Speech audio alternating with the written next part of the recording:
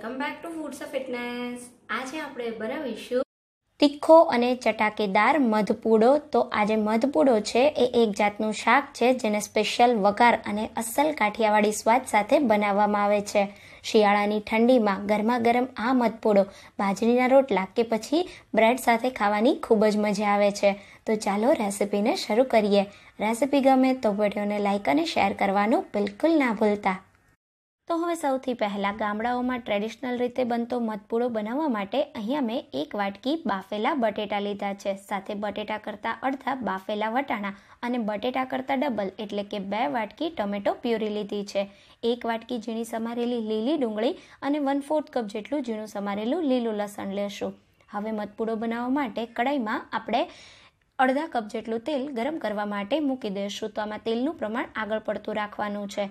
તો આજે મધપૂડો છે. એમાં ટમેટા અને સૂકા મસાલાનો સ્વાદ ખૂબ જ સરસ લાગે છે. એટલે ટમેટા અહીંયા મેં જેટલા આપણે બટેટા લઈએ એના કરતાં બમણા લીધા છે. હવે અહીંયા સૂકા મસાલામાં આપણે એક લાલ મરચું, તમાલપત્ર, ત્રણથી ચાર લવિંગ, બે નાના તજના ટુકડા અને ત્રણથી ચાર જેટલા મરીના દાણા લેશું. બધા મસાલાને ગરમ તેલ થાય એટલે ઉમેરી દેશું અને મસાલાનો સરસ કલર બદલાય ત્યાં સુધી એને થવા દેશું. તો આની સાથે જ આપણે અહીંયા એક ટીસ્પૂન જેટલી રાઈ અને એક ટીસ્પૂન જેટલું જીરું ઉમેરી દઈશું. અને એકદમ ગેસની ફ્લેમ આપણે મીડિયમ રાખીશું. મીડિયમ ગેસની ફ્લેમ પર એકદમ સરસ રાઈ જીરું ક્રેકલ થાય ત્યાં સુધી થવા દેશું તો રાઈ જીરું ક્રેકલ થાય, એની સાથે આપણા મસાલા પણ એકદમ સરસ થઈ જશે. તો થોડા આપણા રાઈ જીરું ક્રેકલ થઈ જાય એટલે આપણામાં મીઠા લીમડાના પાન ઉમેરી દેશું. સાથે બેથી ત્રણ ઝીણા કાપેલા લીલા મરચાં અને એક ઇંચ છીણેલા આદુનો ટુકડો ઉમેરી દેશું. હવે અહીંયા આપણે જે લસણ લીધું છે એને ઉમેરી દઈશું અને સાથે એક નાની સૂકી ડુંગળી ઉમેરી દઈશું તો સૂકી ડુંગળીને મેં એકદમ બારીક સમારીને લીધી છે. હવે એકદમ સ્લો ગેસની ફ્લેમ પર આપણા લસણ ડુંગળીનો કલર હલકો એવો બદલાય ત્યાં સુધી થવા દેશું. તો અહીંયા આપણા લસણનો જે લીલો કલર છે, એને તમારે સહેજ પણ ડાર્ક નથી થવા દેવાનો. થોડું લસણ થાય એટલે તરત જ આપણે આમાં ડુંગળી ઉમેરી દઈશું અને ડુંગળીનો પણ હલકો એવો કલર ચેન્જ થાય ત્યાં સુધી એને થવા દઈશું ગેસની ફ્લેમ મીડિયમ રાખવાની, જેથી આપણી લીલી ડુંગળીનો કલર એકદમ સરસ લીલો મેન્ટેન રહે અને એની ફ્લેવર પણ એકદમ સરસ જળવાઈ રહે. તો અહીંયા તમે જોઈ શકો છો, એકદમ સરસ આપણી ડુંગળીનો કલર ચેન્જ થઈ ગયો છે. તો આ સ્ટેજ પર આપણે આમાં જે ટમેટાની પ્યોરી લીધી છે, એને ઉમેરી દઈશું. તો ટમેટાનો એક અલગ જ સ્વાદ હોય છે આ મધપૂડામાં, અને ટમેટા અહીંયા મેં મોટી સાઇઝના ચાર નંગ જેટલા લીધા છે, જેને મિક્સર જારમાં બિલકુલ પાણી ઉમેર્યા વગર ક્રશ કરી લીધા છે. હવે આપણા ટમેટા એકદમ જલ્દીથી કૂક થઈ જાય, એના માટે એક ટીસ્પૂન જેટલું ટમેટા ઉમેરીએ, એની સાથે મીઠું ઉમેરી દઈશું, અને બધી વસ્તુને સારી રીતે મિક્સ કરી લેશું. હવે ટમેટામાંથી સરસ તેલ છૂટું પડે ત્યાં સુધી આને થવા દેશું. તો એકદમ સિમ્પલ મસાલા સાથે આ શાક બને છે, પણ બહુ જ ટેસ્ટી લાગે છે. અહીંયા તમે જુઓ, ત્રણથી ચાર મિનિટમાં ટમેટામાંથી બધું તેલ છૂટું પડી ગયું છે અને આપણી ગ્રેવી એકદમ પરફેક્ટ તૈયાર થઈ ગઈ છે. હવે આપણે આમાં બાકીના મસાલા કરી લેશું. તો બાકીના મસાલામાં એક ટીસ્પૂન જેટલો અહીંયા મેં ગરમ મસાલો લીધો છે. તમારે ગરમ મસાલાના બદલે થોડો પાઉંભાજી મસાલો ઉમેરવો હોય તો એ પણ ઉમેરી શકાય. એક ટીસ્પૂન જેટલો હળદર પાવડર, એક ટેબલ સ્પૂન જેટલું ધાણા જીરું પાવડર અને બે ટેબલ સ્પૂન જેટલું કશ્મીરી લાલ મરચું ઉમેરીશું અને બધી જ વસ્તુને સારી રીતે મિક્સ કરી દેશું. મસાલાને બરાબર મિક્સ કર્યા પછી એકથી બે મિનિટ માટે તેલ સાથે મસાલાને થવા દેશું અને આ મતપૂડાની ગ્રેવી તૈયાર કરવા માટે સાઈડમાં મેં એક કપ જેટલું પાણી ગરમ કરવા માટે મૂકી દીધું છે. તો એકદમ ઉકળતું પાણી આપણે આમાં ઉમેરવાનું છે. તો આપણા મસાલા થાય ત્યાં સુધીમાં આપણે પાણીને પણ ગરમ કરી લેશું.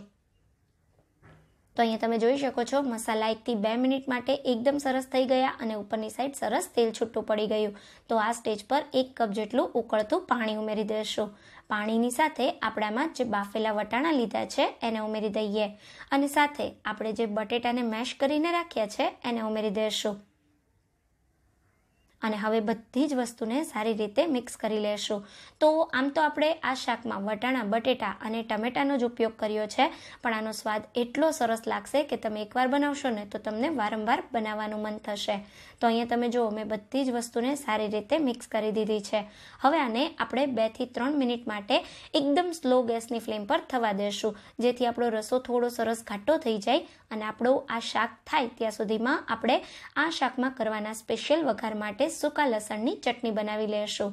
સૂકા લસણની ચટણી બનાવવા માટે અહીંયા મેં મોટી સાઇઝની આઠથી દસ કળી જેટલું લસણ લીધું છે. સાથે એક ટેબલ સ્પૂન જેટલું કશ્મીરી લાલ મરચું લેશું અને એકદમ સારી રીતે આ ચટણીને વાટી લેશું.